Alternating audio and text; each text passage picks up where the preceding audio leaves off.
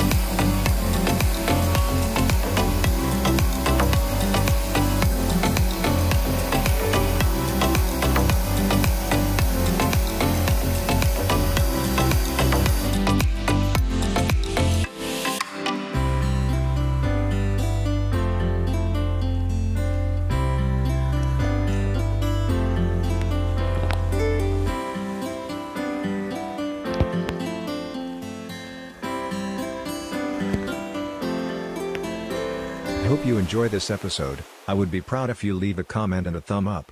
You can be sure, the next video will also be awesome, so stay connected with a subscription. See you soon.